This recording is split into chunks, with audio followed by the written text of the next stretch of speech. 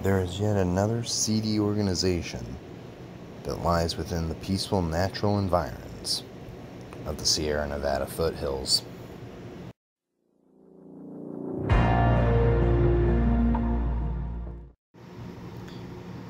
In our last video, we took a dive into the corruption and criminal conspiracy surrounding Midnight Productions.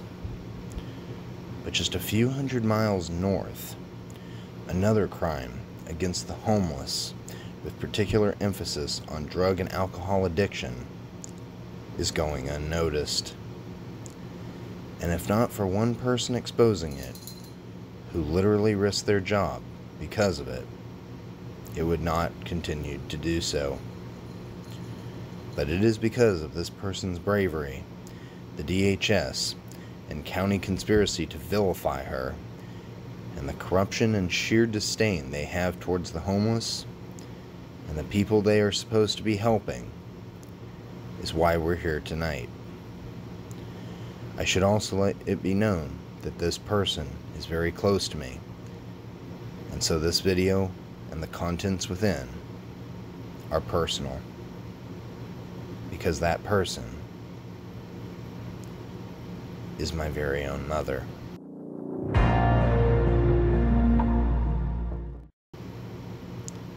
They fucked with the wrong person. They fucked with the wrong family. And in doing so, they fucked with the red pagan. The fully grown bear cub is now awakened. She's angry. And she's out for blood. This is Mama Red Pagan's story.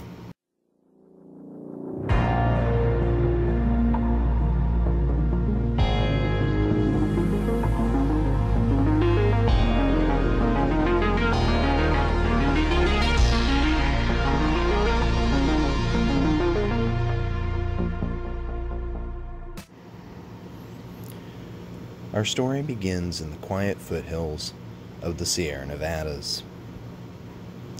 The lush greenery of endless pines and sequoia trees extend for hundreds of miles. Located just an hour away from Sacramento, the pristine, snow capped ridges of Lake Tahoe, and less than two hours from Reno, Nevada, life in this small neck of the woods is largely mundane. But sometimes this quiet Podunk town isn't without its fair share of problems, and certainly not without corruption. Placer County, California, is often considered the gold country, as most of the pioneers to the area, known as 49ers, often made their fortunes or busts here this is where the California gold rush largely took place. As you can imagine, that deadly sin called greed never has truly gone away. The gold dried up, and instead the area largely sustains itself off its pioneering history and tourism, logging, and as a stopover on the way to Lake Tahoe and Reno. It is also largely made up of older retirees or young millennial and Gen Z remote workers looking to get away from the bustling city life of Sacramento and the San Francisco Bay Area. With that, of course, come some city related problems. Drugs, largely methamphetamine, as well as alcoholism, are no stranger to small town life and when faced with people with connections to bigger cities, that problem is only exacerbated. With that comes stronger enforcement by even more conservative and fascistic law enforcement and county officials.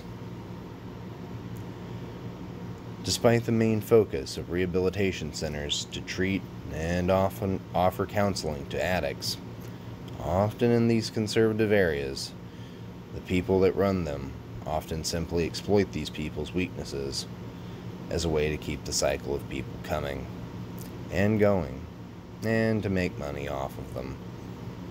even though they claim to be nonprofit.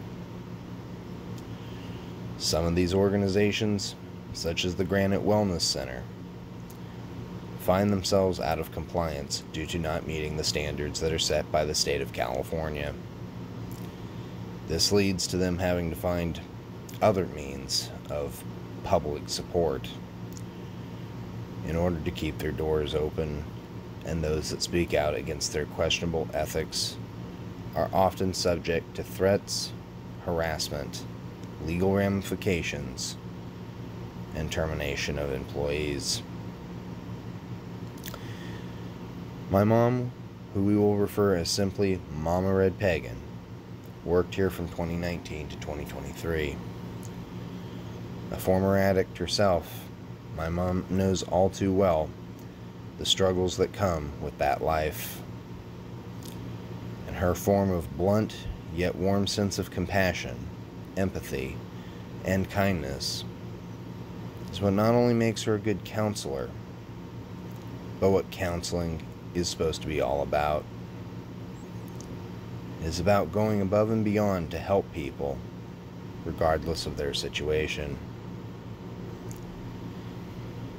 In June 2023, Mama Red Pagan was trying to help a woman, let's call her Alex, an ex client who is homeless living in a tent.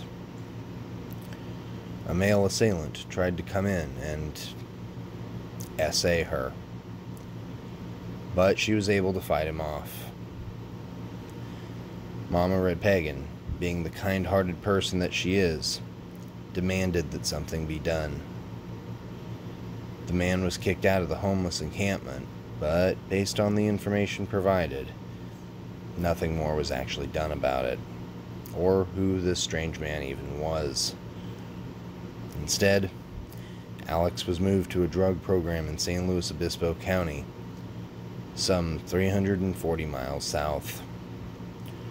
Following this incident, a social worker from the Department of Human Services got involved, and a complaint was made against Mama Red Pagan, who was placed on paid administrative leave pending an investigation.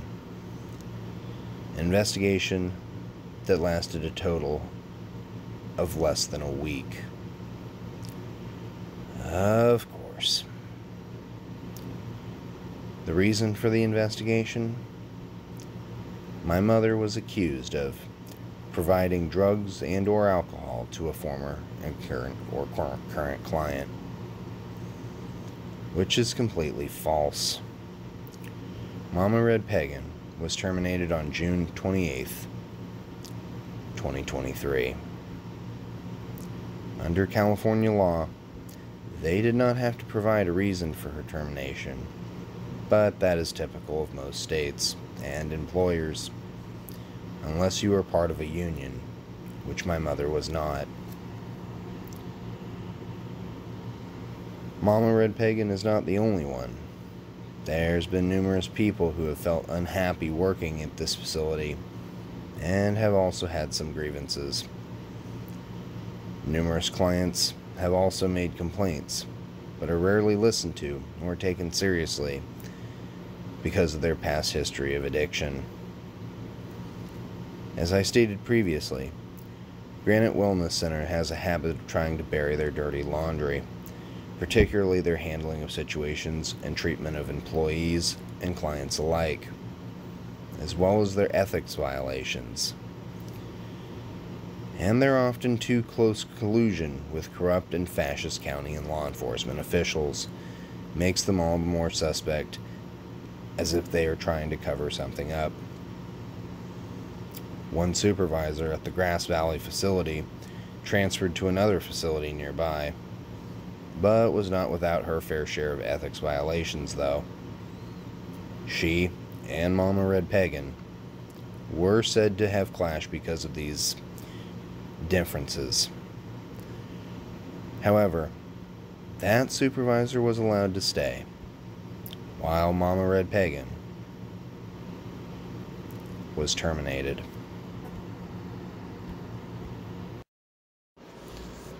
I reached out to Mama Red Pagan, who could confirm that she was fired based on these false accusations.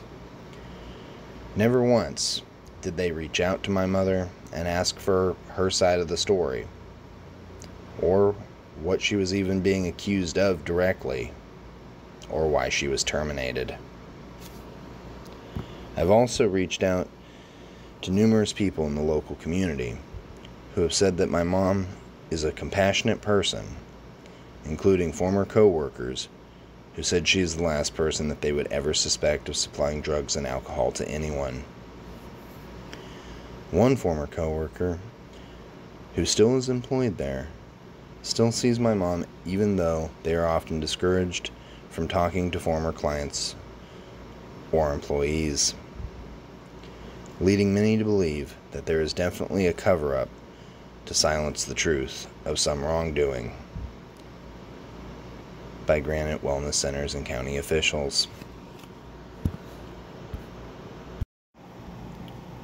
What we potentially have here then is a potential conspiracy by this organization and Placer County to slowly discourage and criminalize humanitarianism towards the downtrodden, the people that this capitalist society has thrown under the bus and forgotten about, like yesterday's trash. For those good Samaritans who actually do do the right thing and try to reach out and help those in need, whether it be giving them something to eat, a place to sleep, to aid them during and after a traumatic event, or just simply being a friend or an ear to help keep them out of trouble or from hitting a pipe or the needle, are truly one of the last beacons of hope of this crumbling society. A society who crusades against immorality while forgetting what the context of being a morally good person actually is. While I'm not a Christian, I'm often reminded in these situations of what these holier than thou people say most. What would Jesus do? Well, if you're actually a, a, true Christian yourself, then you would be more like Mama Red Pagan, who actually feeds the homeless, loves thy neighbor, and doesn't covet material things or wealth and just in general, tries to be a good person. Instead, the people running Granite Wellness Centers and Placer County choose to demonize, devalue, and punish people who show a sense of humanity, compassion, or empathy towards others. The very thing counselors are supposed to do, or at least used to do. Therefore, the supervisors, management, executives, and administrators of Granite and the Placer County officials are truly some of the most corrupt and vile people, as their sadism and cruelty falls just short of that of Midnight Productions. These individuals might want to check their own privilege and reevaluate themselves because they are neither moral nor good people. They devalue the homeless and treat them as subhuman. They care nothing of their fellow man and only for themselves. And they covet material wealth rather than humanity. And those that call themselves Christians are fooling themselves because they are certainly not doing the Lord's work. But hey, I guess there's no hate like Christian love. Or maybe for those running Granite Wellness and Placer County, it's the other way around.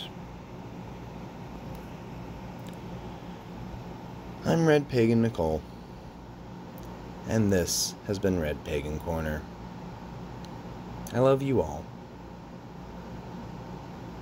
And good night.